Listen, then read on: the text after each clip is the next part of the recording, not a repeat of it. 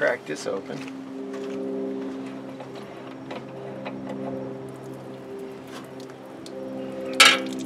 Oh, Away go troubles down the drain. Now what I need is a, a dry vac, wet dry vac, because we're going to actually put a little vacuum on this and pull pull air through here. You got a wet dry vac? I can. I, I I'm going to pull a little bit of vacuum on it. Never put pressure. If this is on video, never put pressure on this tube.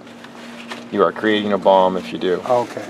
Under vacuum, this can handle perfect vacuum because the glass is incredibly strong under compression.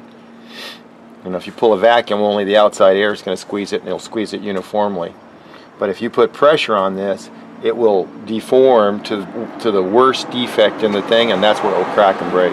Oh, And this liquid can be deionized water. It can be, be uh, Dowfrost. A mixture of Dow Dowfrost works really good. And that's just a standard cooling for your car. Or uh, you can pick it up at almost any store. E even regular antifreeze will work in here. Well, I got, I got this part of it. That's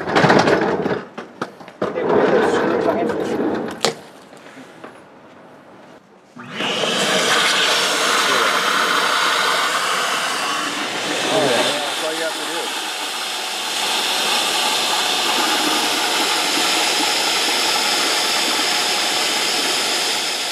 You need to tilt that up from that end down to here if possible. Get a get a long piece of wood. You can put it underneath there and just lift it up. Easy. Don't lift it by yourself. You'll hurt your back. You got a, like a two before, six feet long. Yeah, our reservoir is completely empty. You see that?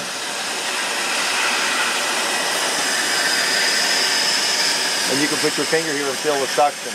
wow. There you go. Good move, Davo. Give me a, like two or three more inches. There you go. Wow, that's some good, good uh, flashback. Whoa, you see that? Oh, I'm missing all the cool stuff. Oh, this, Okay, let that it is down. so cool. And now if you can go do the other side, because I think it's actually the other side that's the problem. That does it right there. You drained it.